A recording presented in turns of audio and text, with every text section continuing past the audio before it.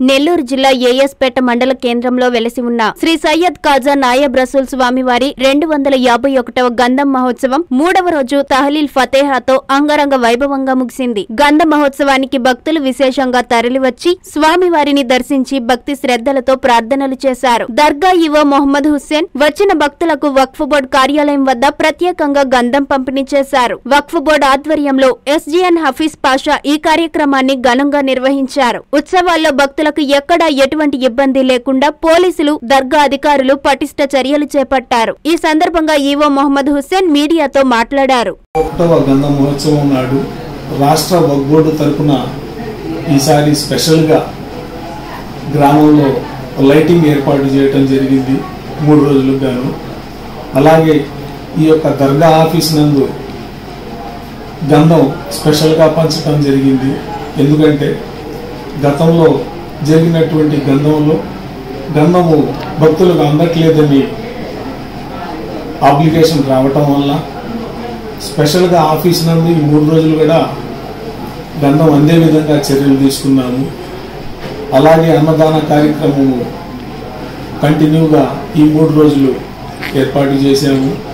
ఇటు డోనర్స్ కానివ్వండి వగ్బోర్డు తరపున కానివ్వండి మొత్తం కలిపి ఎటువంటి అసౌకర్యం లేకుండా వచ్చినటువంటి భక్తులకు మంచినీటితో సహా అన్ని ఏర్పాట్లు రాష్ట్ర బోర్డు తరఫున మేము ఏర్పాటు చేశాము. ఈ యొక్క గంధ మహోత్సవము విజయవంతంగా ముగిసింది ఈ రోజుతో. ఈ యొక్క గంధ మహోత్సవానికి భక్తులు కూడా సహకరించటం జరిగింది. రాష్ట్ర బోర్డు వారి తరఫున అన్ని శాఖల అధికారులకు భక్తులకు ఈ గంధం ఎత్తినటువంటి ఎస్జిఎన్ ఫయాజ్ అహ్మద్ గారికి అలాగే ఈ దర్గా సజ్జాద నషీన్ అయిన ఎస్జిఎన్ హఫీజ్ బాషా గారికి వక్ బోర్డు తరపున ధన్యవాదాలు తెలుపుకుంటున్నాను.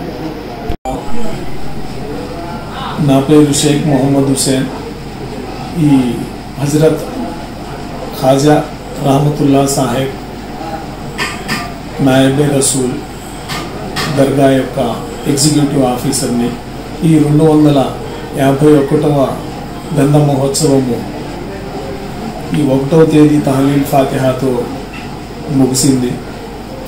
నేను గతంలో చెప్పిన విధంగానే రాష్ట్ర బోర్డు తరపున శ్రీ ఎస్జిఎన్ ఫయాజ్ అహ్మద్ గారికి గంధం ఎత్తమని కోరినాము.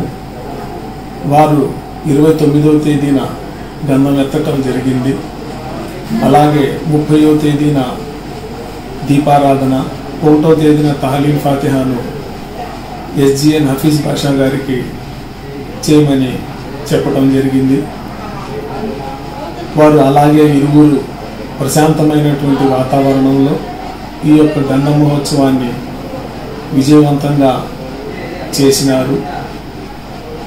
ఈ యొక్క గంధ మహోత్సవం నా- ముందు మన రాష్ట్ర దేవాదాయ శాఖ మంత్రి గారి ఆదేశాల మేరకు మన ఆత్మకూరు ఆర్డీఓ గారు పలు శాఖలతో ఒక రివ్యూ మీటింగ్ని ఏర్పాటు చేసి సంబంధిత శాఖకు ఏ ఏ వర్క్ చేయాలనేది ఆదేశాలు జారీ చేయటం జరిగింది. ఆ యొక్క శాఖల వారు విజయవంతంగా విధులు నిర్వహించారు.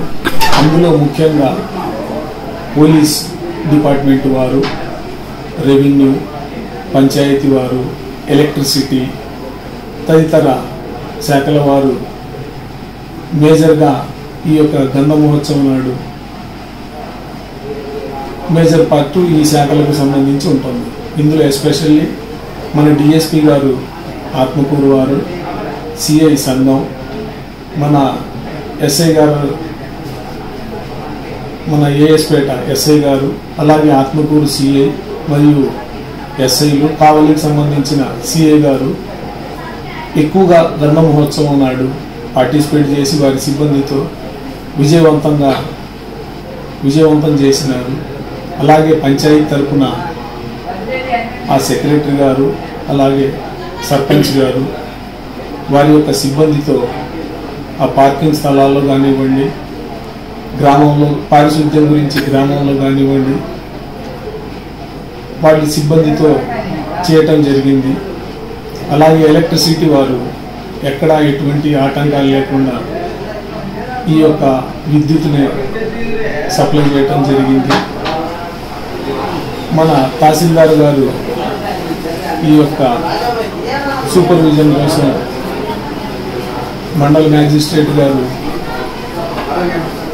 రావటం జరిగింది. ఈ యొక్క గంధ మహోత్సవం ముందు మన నెల్లూరు జిల్లా మాజీ మేయర్ అయినటువంటి అబ్దుల్ అజీజ్ గారు రావటం జరిగింది. వారిని ఈ మధ్య ప్రభుత్వం తరపున రాష్ట్ర బోర్డు చైర్మన్గా డిక్లేర్ చేయటం జరిగింది. వారు ఈ దర్గాను సందర్శించి భక్తులతో మాట్లాడి వారి యొక్క సూచనలు తీసుకొని బోర్డు ఏర్పాటు చేసిన తర్వాత ఇక్కడ భక్తులకు ఎటువంటి అసౌకర్యం కలగకుండా ఏర్పాటు చేస్తామని చెప్పడం జరిగింది. నారాయణ మాతృసేవా పథకం అమ్మతనానికి కమ్మనైన పథకం. సుమారు పదిహేను వందల విలువ గల నారాయణ బీబీ హెల్త్ కిట్ ఉచితం. అవుట్ పేషెంట్స్కు ప్రతి నెల డాక్టర్ ఫీజు ఉచితం. అల్ట్రాసౌండ్ స్కానింగ్ ఉచితం. గర్భిణీ స్త్రీలు కాన్పు కోసం కానీ ఇతర అవసరమై హాస్పిటల్లో చేరినప్పుడు బెడ్ ఛార్జీలు ఉచితం. ప్రాథమిక వైద్య పరీక్షలు ఉచితం. మందులు ఉచితం. బ్లడ్ బ్యాంక్ నందు అవసరమైన వారికి రక్తం ఉచితం. ఐదు నుండి తొమ్మిది నెలల గర్భిణీలకు ప్రతి నెల చెకప్ సమయంలో ఉచిత డ్రై ఫ్రూట్ బాక్స్ మరియు వేరుశెనగ చిక్కీలు ఉచితంగా ఇవ్వబడును. బిడ్డ పోషణ నిమిత్తం తల్లికి మూడు వేల రూపాయల నగదు అందించబడును. కాన్పు కోసం అంబులెన్స్ ఉచిత పికప్ సదుపాయం కలదు నెల్లూరు నగర పరిధిలో. నారాయణ మాతృసేవా పథకం నెల్లూరు.